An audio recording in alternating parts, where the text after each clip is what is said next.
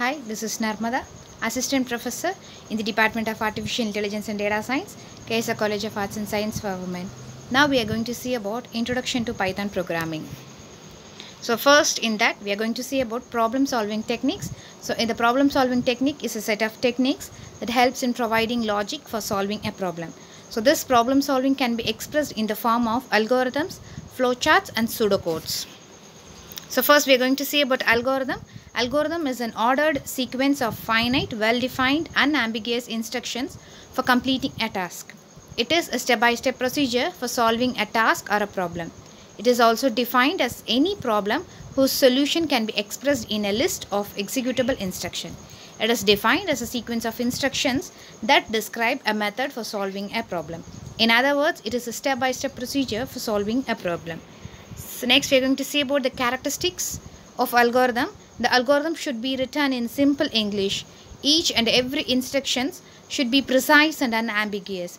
Instructions in an algorithm should not be repeated infinitely. Algorithm should conclude after a finite number of steps. It should have an endpoint. Derived results should be obtained only after the algorithm terminates. The next is the qualities of algorithm. The qualities are time, memory, accuracy, sequence and generality. Next we are going to see about the building blocks of algorithms. That is nothing but the statements, state, control flow and functions. Algorithms can be constructed from basic building blocks namely sequence, selection and iteration. Statement is a single action in a computer.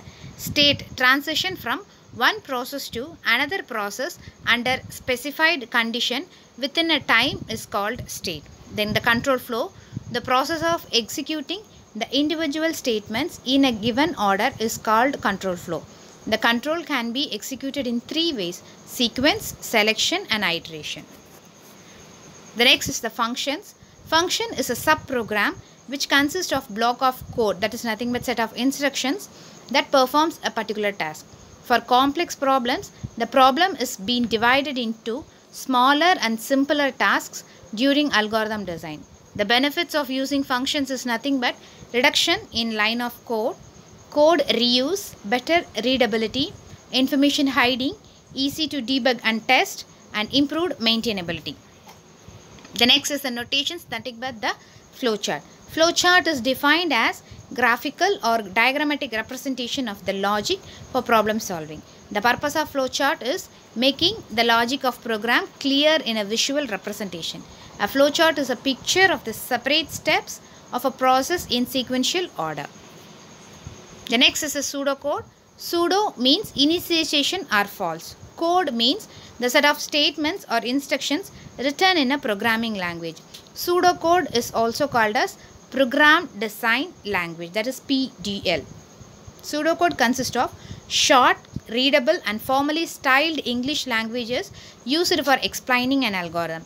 It does not include details like variable declaration subroutines. It is easier to understand for the programmer or non-programmer to understand the general working of the program because it is not based on any programming language.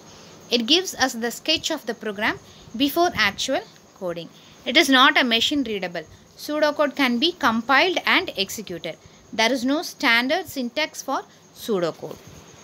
Then, rules for writing pseudocode. Write one statement per line. Capitalize initial word that is read, write, if, while, until for example. Indent to hierarchy. End multi-line structure. Keep statements language independent. The next is the alg algorithmic problem solving.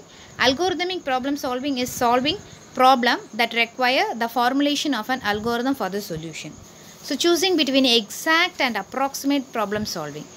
The next principal decision is to choose between solving the problem exactly or solving it approximately.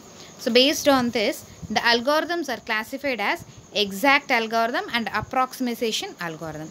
Data structure plays a vital role in designing and analysis the algorithm. Some of the algorithm design techniques also depend on the structuring data specifying a problem's instance. So algorithm plus data structure equal to programs.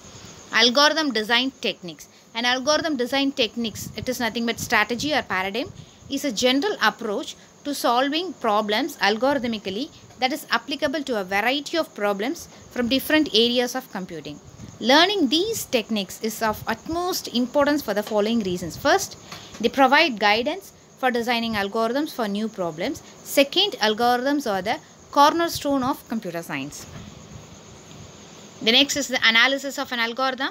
So the analysis of algorithm is based on the efficiency and simplicity. Efficiency it's nothing but time efficiency and space efficiency. Time efficiency indicates how fast the algorithm runs. Space efficiency indicates how much extra memory it uses.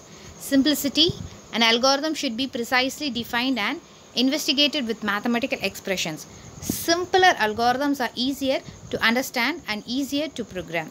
Simple algorithms usually contain fewer bugs.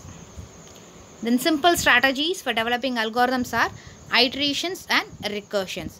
Iteration is nothing but a sequence of statement is executed until a specified condition is true is called iteration. It is nothing but the for loop and while loop. Recursion, a function that calls itself is known as recursion. Recursion is a process by which a function calls itself repeatedly until some specified condition has been satisfied. Thank you.